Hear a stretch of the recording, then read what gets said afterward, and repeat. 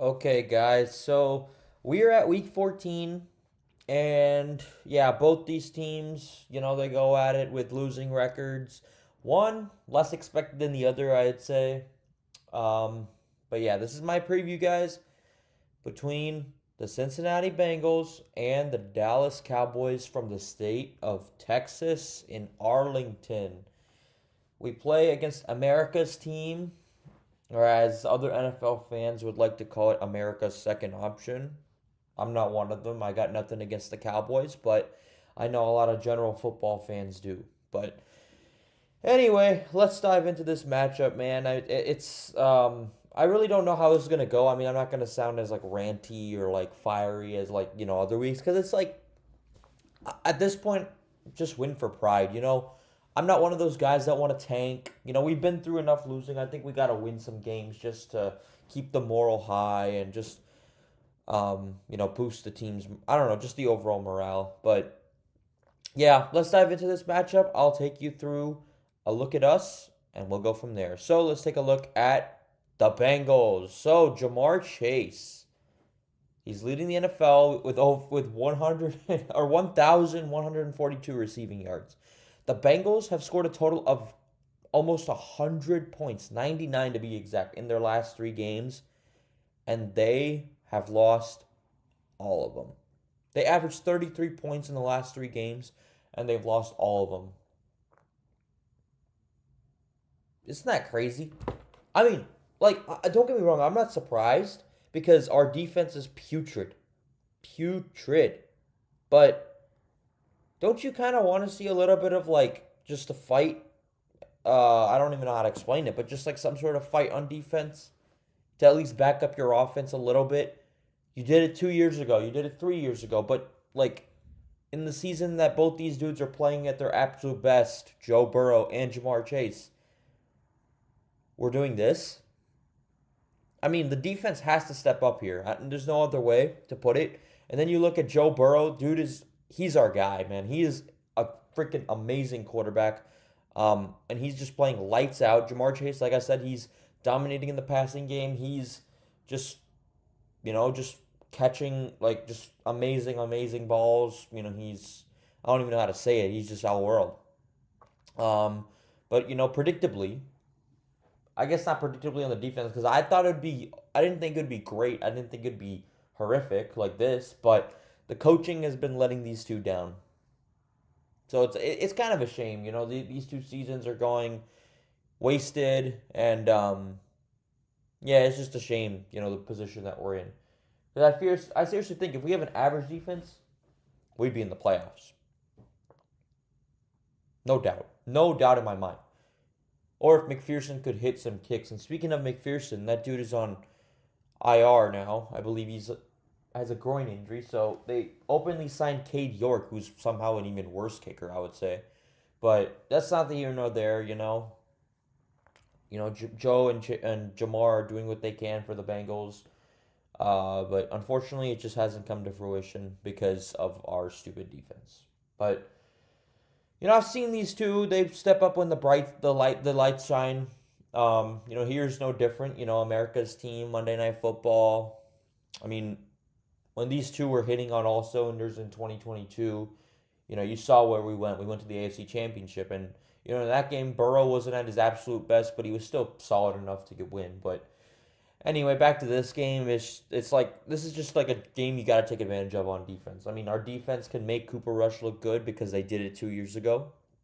Um, so I don't know how these are gonna do. Our defense is significantly worse than it was two years ago, but you know, it is a shame. Uh, but it is what it is. You know, you gotta sometimes just take the good with the bad. And you know, let's look at the Cowboys. Um, you know, Micah Parsons has three and a half sacks in the last two games since he returned. I believe he returned in that game against Washington. But you know, CeeDee Lamb is also a dangerous target. I mean, their offense is not great, yes, but you know they're still a dangerous target, and this is a game that they can really get going. But you look at their defense, which is something that our offense can capitalize on. They have allowed the third most rushing touchdowns in the entire NFL. So there's no surprise what the Bengals should do here. You know, they should get Chase Brown going, if anything. Uh, you know, Chase Brown, he averaged seven yards a carry last week against the Steelers. So if there's a game that he can really turn it up, it's this one. Um, so, you know, that's just kind of what we need to do. You know, you feed Chase Brown the rock, you feed, you know, uh, pretty much all the you know the targets on offense. That's like how you just get going against a very suspect Cowboys defense. But you know they're the home team. They're playing with a little bit of pride. Two straight wins against two division rivals. There's no reason for them to be not feeling good. You know about this game, especially the Bengals have not beaten the Cowboys since 19. Or no, in Dallas they haven't beaten the Cowboys I believe since 1988. That's just that's crazy. And I think that was the year that the Bengals went to the yeah, they went to the Super Bowl that year. So yeah, I mean that's just kind of where we're at. Um not not looking great.